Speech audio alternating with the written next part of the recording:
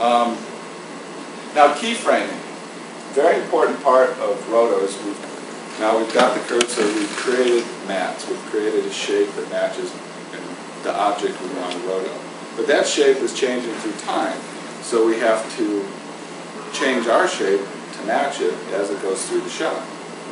And the easiest way to do this, now the simplest way to do this is when people start out frame one, they outline it, they go to frame two, adjust it, frame three, adjust it. That's very time consuming. Most rotos you don't need to do every single keyframe. You can get away with doing every fourth frame or every second or eighth or sixteenth frame depending on the motion. So the first strategy is sequentially from frame one. It works, but it's really inefficient. You'll be um, doing a lot of double, triple work. You, most, all, all rotoscoping systems have interpolation between keyframes. So what you want to try and do is set keyframes throughout the shot, and then use the, let the system interpolate your shape as it moves through the shot.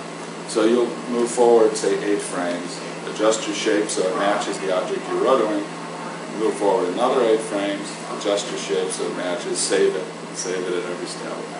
And then um, with one-eighth of the keyframes, you already have a pretty good rough roto of what you're supposed to do.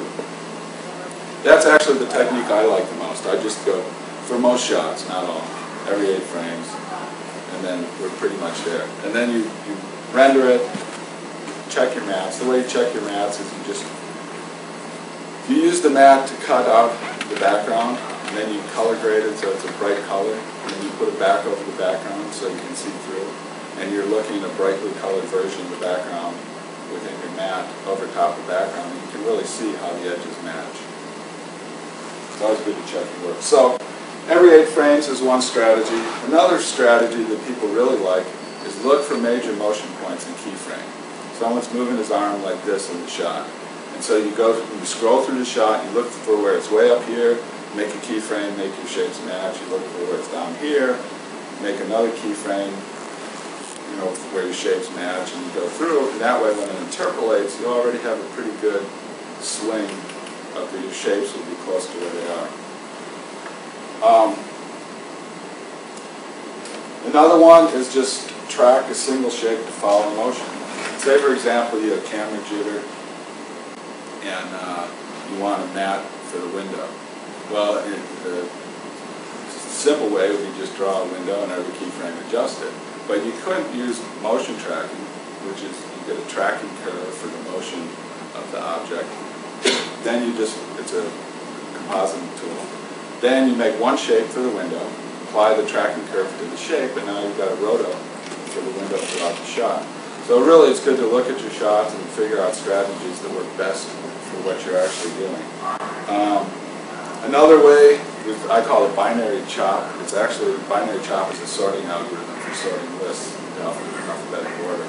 But you can kind of use it for roto where you put a keyframe at the beginning, keyframe all the way at the end, put one in the middle, then you go to the middle of those two sections, put another keyframe. Now for some movement, if you have very, you've got pretty much fixed, but it's handheld and it's just kind of slowly drifting like that, that's a pretty good method also. Um, for a lot of things, for fast movement or for explosions of debris, that really doesn't work at all. Again, I usually use just every eight frames because all the other things fall out. You know, you will eventually run around the point that's close to your stream points of motion, and it's fast and you don't have to think. And um, that's what I generally use. Um, now, are there any questions? Okay, general strategies for approaching a shot. This is like how you would approach a shot once you have all the tools and you have your software. First thing is you have to understand the problem. What is the problem? So the way you find that out, talk with your compositor, talk with your supervisor. You know, what do you want rotoed in here? For how long? For where? Why do you want to use it? You know, how should we treat the blurry edges? All those kind of things. Communicate well. It's very important. And then also review your shot before you start. Actually play your whole shot look at your shot before you start rotoing because you, you, may find a better way to approach it. Uh, another strategy work from the most information to the least. Say you have a crowd of people that all leave the room or a crowd of people all come into the room. Start from the endpoint where they're all there make all their maps for them, and then follow them out of the room backwards, work from the end to the beginning. So start, set up your shapes where you see both the hands and you see the. Um, another really important thing is as you're animating, move group, move shape, move point. Very easy, particularly on slow-moving shots, to introduce a lot of error into your roto just by the fact that you're moving points around by hand. You should really avoid moving points as much as possible. You should do everything by grabbing the whole group and moving it into place, and then squishing in individual shapes, massaging them into place. And only as a last resort should you ever move a point, because uh, you will, particularly if you have objects that are man-made with straight edges, it's very easy to get this kind of wobbling, and that's introduced just by the fact that you're touching the system.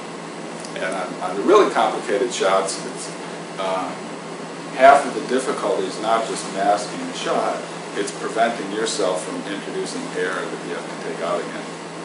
Uh, another strategy I mentioned earlier, interpolation, let the machine do the work.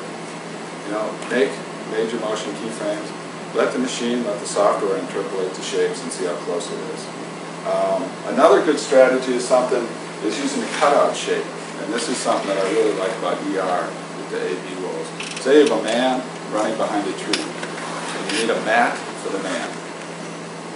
Well, in Matador, you know, as, I don't know if I'm so well I can draw this, but here, we'll make it simpler. He's running behind this thing right here.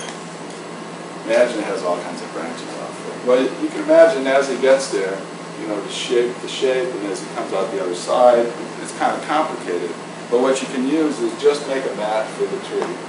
Just make a mat for the man, and just cut the tree out of the man. And it's much easier then. And you're not going around like this, and you just have two independent shapes that you're rotoscoping. That's a really advantage of VR, the ability to do that. Um, another good uh, strategy is check your work. You know, make the test comp. I have a, version in my home directory of a, uh, a nuke script you can use for testing testing your math. But just make a brightly colored version of your math. Put it on the background, play it. Do you see anything? Catch your eye. Um, and have someone else check your work. What time is it? Are we out of time? Oh, okay, okay. And now alternate methods is uh, sometimes you're going to have a situation where keyframing in a traditional roto isn't really going to work. And then it gets a little trickier. I mentioned tracking the shape on the window. I actually had to do that on the Grinch, where they shot something on the stage through trees, but they didn't have a blue screen behind it. And, and so this hole in the trees that had ground that was exactly the same color as trees they wanted a mat for. And I couldn't just rotoscope it because I would lose all that feathery pine needle information on the edge of the tree. So what I did is actually a combination of things of all these. I pulled the key to begin with as best I could, a luminance key. And so I got kind of a rough mat. And I went in Matador and I painted it by hand. That one shape, I painted it. So I cleaned it up by hand and, a little blur to make it match. So I had a good pat to that hole. Now fortunately this was shot on the soundstage, so there was no real wind to speak of. Although some shots there were. And then after I painted the mat, I got a tracking curves off the shot and just tracked the mat into that hole. And that was a really good way to get a real feathery mat, somewhere where you couldn't really pull a key and couldn't really rotoscope. And, uh, and another alternate method is if you have something with extreme motion blur. And this is usually something that the compositor does, but sometimes the roto artist might do, is uh, if you are rotoring something where there's a lot of motion blur, like a hand is sweeping like that. And um, some programs like Nuke, you can pull out the blur and you can fine tune the blur to match the blur on the frame. And you can either do that with some systems like just pulling out the blur out of the edge, or sometimes they used to actually digitally paint blur to match that. Again, usually that's more of a compositing than a roto tool, but sometimes you might just want to do that. Um, then the last thing I have to talk about is, is rendering and. And generally, we render all the mats as sharp edge mats, you know, white mat on black background. The reason for that is that has the most information without being blurred. Blurred mat has less information. We want to give the compositor the the most information let them glue it to suit their needs in the composite. Um, When you're done, tell someone, tell your supervisor and the compositor his element's ready and that you're done and have your work checked. And the last thing is, check back after two or three days, And see if it worked, you know? Just, just follow up, and that's good professional in general, so. That's digital rotoscoping as I understand it. If there's any questions?